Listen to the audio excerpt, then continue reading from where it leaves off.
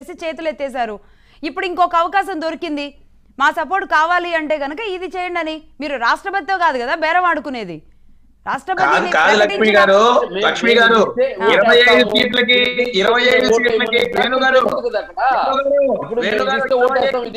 ఇరవై ఐదు. ఇవ్వండి ఇరవై ఐదు సీట్లకి మెజారిటీ సీట్లు ఇవ్వండి మెడలు వంచుతాం తాట తీస్తాం. అన్ని ఆయుధాలు మా దగ్గర ఉన్నాయి. ఎప్పుడు ఎక్కడ ఏం చేయాలో మాకు తెలుసు. ఇరవై ఐదు ఇరవై మూడు ఇవ్వండి. ఇరవై ఐదు ముప్పై రెండు ఇవ్వండి అని చెప్పిన వ్యక్తి ఎవరు? నాయకులు ఏం పరిస్థితి అంటే విమర్శిస్తాము? బురద జల్ల కార్యక్రమం చేస్తాము కానీ బీజేపీ పాదాల కాడ ఉన్నాము అనే ఉద్దేశంలో ఉన్నారు వాళ్ళు. మాట్లాడే మాట మీ వ్యక్తిగతమా పార్టీ మాట? ముందు మీరు చెప్పాలి. మీరు మాట్లాడే మాట వ్యక్తిగతమా పార్టీదే వైఎస్ఆర్ సిపి పార్టీ ఎక్కువ ఎంపీలు ఇస్తే మేము కేంద్ర ప్రభుత్వం మెడ వచ్చి తాట తీస్తామన్న మాట చెప్పిన మాట వాస్తవమా? కాదా? మేము తాట తీస్తామని? చెప్పలేదు. మీరైతే తాట? తీసే రకాలు? చెప్పలేదు. మీరు ఈ రోజు? ఎవరి మెడకాయ వంచుతున్నారు? మీ మెడకాయ మీరే వంచి కాళ్ళకి దండాలు పెడుతున్నారు. బీజేపీ పడిపోయినారు. బీజేపీ ఎక్కడ కాళ్ళకి దండాలు పెట్టామో వేణు గారు గూగుల్ గూగుల్ తల్లిని అడగండి. మీరు గూగుల్లో కొడితే ఎవరు మెడలు వంచి ఎవరు తలకాయ దండాలు పెడుతున్నారు? ప్రజలందరూ అనుకున్నారు బీజేపీ అనుకున్నారు. కానీ మీ మెడకాయలు మేడం? మీరే వంచి దండాలు పెడతారు. ప్రజలు అనుకోలేదండి. రాకేష్ గారు. రాకేష్ గారు. రాకేష్ గారు. రాకేష్ గారు మేడం. ఈ చంద్రబాబు తలకిందులు తపస్సు చేసిన అమరావతి రాజధానిగా ఉండదు మూడు రాజధానులు ఉండేటంటే అంటే ఇది చంద్రబాబు గారి ఇంటెన్షన్ మాత్రమేనా అమరావతి రాజధానిగా ఉండాలనేది? ఇక్కడ మేడం గారు ఇక ఈ విషయం ఏంటంటే వైసీపీ వాళ్ళు తమ్మిని బిమ్మిని చేయటం బాగా ఎక్స్పర్ట్లు కింద స్థాయి నుంచి పైదాకా వాళ్ళంతట వాళ్ళే అసెంబ్లీ సాక్షిగా దేవాలయం లాంటి అసెంబ్లీ సాక్షిగా మైకు ముందు పెట్టుకొని మూడు వేలు నాలుగు వేలు కుదరదు. ముప్పై వేల ఎకరాలు పైన ఉండాలి అని చెప్పి మాట చెప్పిన వ్యక్తే ఈ జగన్మోహన్ రెడ్డి. ఆ మూలో ఈ మూలో పెట్టద్దు. ప్రాంతాల విద్వేషాలు తీసుకురాకూడదు. కేవలం ప్రజలు బాగుండాలి. రాష్ట్రానికి మధ్యలో ఉండాలి. దానికి పక్కనే నీరు ఉండాలి. పక్కనే రోడ్డు ఉండాలి. పైనే ఆకాశం ఉండాలి అని చెప్పిన వ్యక్తి ఈ జగన్మోహన్ రెడ్డి. అన్ని రకాలుగా ఆలోచించి ప్రజల నిర్ణయం మేల్కొని ప్రజలతో డిస్కస్ చేసి ప్రతి గ్రామాన్ని తిరిగి ముప్పై నాలుగు వేల ఎకరాలు ఒక్క రూపాయి ఖర్చు కాకుండా ముప్పై నాలుగు వేల ఎకరాలు మేడం గారు. చాలా బాధ ఉంటుంది మేడం ఆ ప్రాంతానికి వెళ్తే. ఈ రోజు ఎన్నో రోజుల నుంచి నూట యాభై పైన రోజుల నుంచి ఆ రోడ్డు మీద కూర్చొని పది ఇన్ని రోజులు సంవత్సరం మూడు సంవత్సరాల నుంచి వాళ్ళు రోడ్డు మీద కూర్చొని ప్రతి రోజు కూడా మా మా మా భూములు మా కౌలు రైతుల పరిస్థితి ఏంటి? మా పంటలు పోగొట్టుకున్నాం మాకు అభివృద్ధి చేస్తా అన్నారు పరిస్థితి ఏంటి అని చెప్పి కులాలకు అతీతంగా వాళ్ళు పోరాటం చేస్తుంటే ఆ రూట్ లోకి వెళ్ళాలంటే అక్కడ వంద మంది ఉంటే వెయ్యి మంది పోలీసులను పెట్టి వెళ్తున్న వ్యక్తులు ఈ వ్యక్తులు. వాళ్ళు అంటారు కేవలం ఇది అమరావతి ఒక కులానికి సంబంధించింది. అమరావతి కేవలం కూడా రాజధానిగా ఉండాలంటే నేను నేను నేను సీఎం అయితేనే చంద్రబాబు గారి కన్నా కూడా అని చెప్పి చెప్పిన వ్యక్తి జగన్మోహన్ రెడ్డి. కాదు కాదు వేణు గారు ఒక అన్నదమ్ముల విషయంలో ఒక తండ్రి కొడుకుల విషయంలో సెంటు భూమి తేడా వస్తేనే కోర్టులకు వెళ్తారు గొడవలు పెట్టుకుంటారు తన్నులాంటికి వెళ్తారు పెద్ద మనిషి దగ్గర పంచాయతీ పెడతారే. ముప్పై నాలుగు వేల ఎకరాల భూమి ప్రభుత్వానికి ఇచ్చిన రైతులు ఎంత బాధపడాలండి? వాళ్ళ కుటుంబం భూమిని మీ- మీరు గుంజుకునిందే కదా. మీరు? గుంజుకునిందే కదా? చంద్రబాబు నాయుడు గారికి ఇల్లు ఉందా? లాక్కున్న భూములే కదా ఇల్లు కట్టుకున్నారు. కాదు కదా గుంజుకున్నారా లాక్కున్నారా? సుధాకర్ గారు చెప్తారు. లక్ష్మి గారు. జగన్మోహన్ రెడ్డి గారు. ఏం జరిగింది?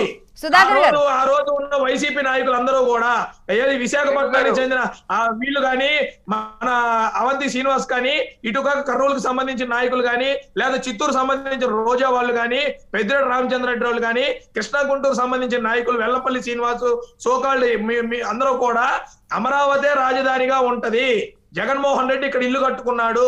ఇది రాజధాని అని పోటీ పడి చెప్పిన మాట రాకేష్ గారు, ఒక్క ఎవరు నిమిషం. పోటీ పడి చెప్పిన మాట వాస్తవం కాదా? గుంజుకున్నారు. మరి మరి మరి ఏంటండి? నాకు అర్థం? కాదు. ఈ రోజు మూడు?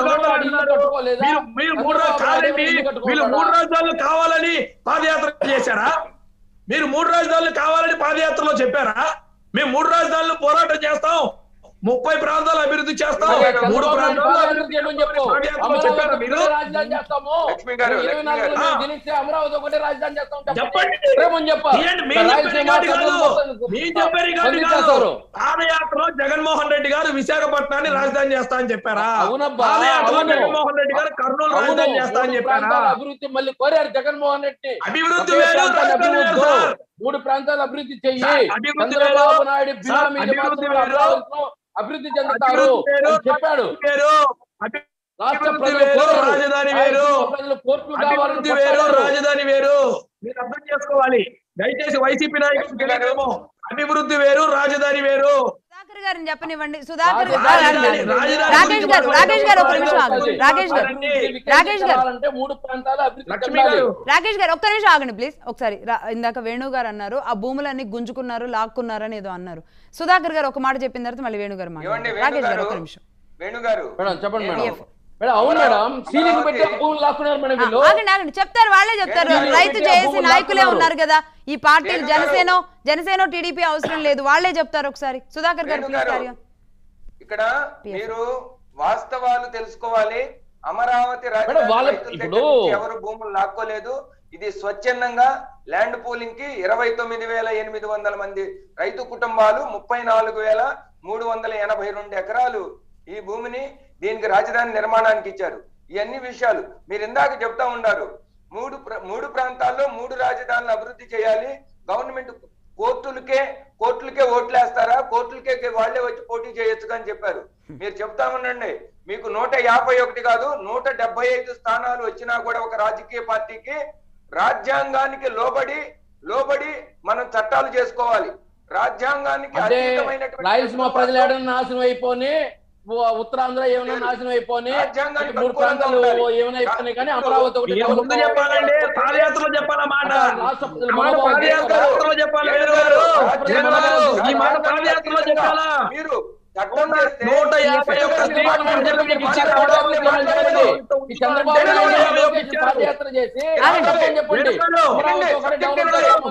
మీకు నూట యాభై ఒక్క సీట్లు ఇచ్చింది. మీకు అమరావతి రాజధానిగా ఉంటాయంటేనే నూట యాభై ఒక్క సీట్లు ఇచ్చారు. రాకేష్ గారు ఆగాలి. మేడం చెప్పే subject- వీళ్ళు చంద్రబాబు నాయుడిని వీళ్ళు లోకేష్ గారిని పాదయాత్ర చేయమని అమరావతి ఒకటే రాజధాని అమరావతి డెవలప్ చేస్తాము. మిగతా ప్రాంతాలతో చెప్పండి జనాలు వేస్తారు అప్పుడు ఓట్లు. వాళ్ళు ఓట్లు కావాలి కానీ వాళ్ళ అభివృద్ధి అవసరం లేదు. స్పష్టంగా చెప్పలేదు. మీ ఇష్టానుసారం మీకు అధికారం వచ్చిన తర్వాత మీ మనసులో ఏ నిర్ణయాలు ఉంటే ఆ నిర్ణయాలు చేయడానికి భారత రాజ్యాంగం అవునయ్యా. ప్రజ ప్రజల మనోభావాల్ని దృష్టిలో తీసుకొని మూడు ప్రాంతాలు. అభివృద్ధి చెందాలని ఈరోజు జగన్మోహన్ రెడ్డి ఆ పని చేస్తున్నాడు. అంటే మీ మనోభావాలు మాత్రమే తీసుకోవాలా? మీరు చెప్పిందే చేయాలా? అమరావతి మాత్రం డెవలప్. చేయాలా? మీ సొంత రాజ్యాంగాన్ని అమలుపరచకూడదు. మీ సొంత సొంతంగా అమలుపరచడానికి ఇక్కడ.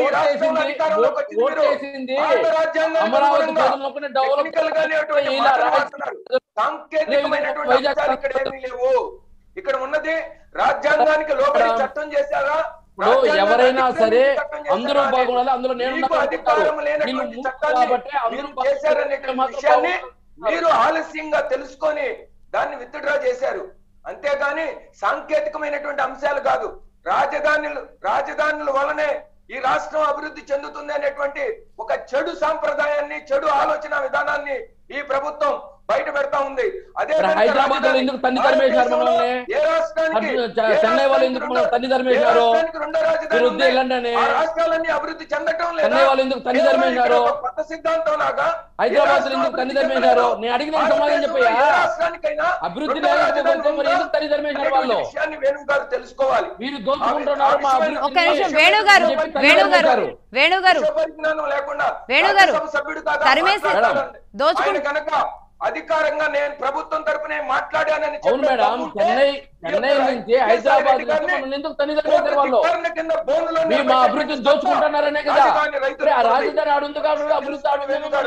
రాజధాని. రైతులకి ఈ రాజధాని ఉంటే అభివృద్ధి అభివృద్ధి ఏమండి, ఇప్పుడు. కూడా దమ్ము ధరించి రాజధాని వేరే, వేణు గారు అభివృద్ధి వేరే వేణు గారు ఎక్కడో. వేణు గారు మీరు అన్న ఈ ఒక్క మాటకి నేను చెప్తాను. సుధాకర్ గారు సుధాకర్ గారు ఆగండి ఆగండి. సుధాకర్ గారు సుధాకర్ గారు ఒకరి తర్వాత ఒకరు మాట్లాడాలనుకున్నది క్లియర్గా మాట్లాడితే ప్రజల్లో యా. ఇప్పుడు ఒకరు మాట్లాడుతున్నప్పుడు సుధాకర్ గారు మాట్లాడుతున్నప్పుడు వేణు గారు మాట్లాడకూడదు. వేణు గారు మాట్లాడడం మేము విన్నాం కదా. ఇప్పుడు మీరు అలా అవును మాట్లాడుతుంటే మధ్యలో ఎంటర్ అయింది ఆయనే. ఒక్క నిమిషం అండి ఒక్క నిమిషం ఒక్క నిమిషం. రాజధాని కాదు కాదు. ఈ విషయం మీద ఈ. విషయం మీద పర్టికులర్గా కొన్ని విషయాలు చెప్పడానికి వచ్చారా? ప్రొఫెసర్ జీవీఎల్ శాస్త్రి గారు. ఓకే అండి ఓకే అండి. మరి కాసేపట్లో జాయిన్ అవుతారు. జీవీఎల్ శాస్త్రి గారు కూడా వస్తారు. వేణు గారు ఒక్క మాట. అభివృద్ధిని దోచుకు దోచుకు తింటున్నారని ఆంధ్రప్రదేశ్ ప్రజలు దోచుకుంటున్నారని ఆ,